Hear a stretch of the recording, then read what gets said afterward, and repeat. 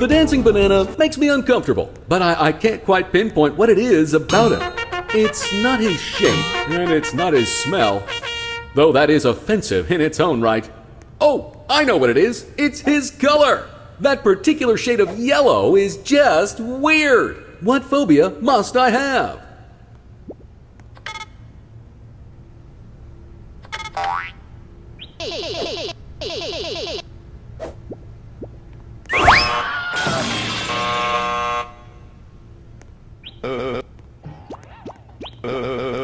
Talk to you about getting my parking validated or oh oh oh we're on the air?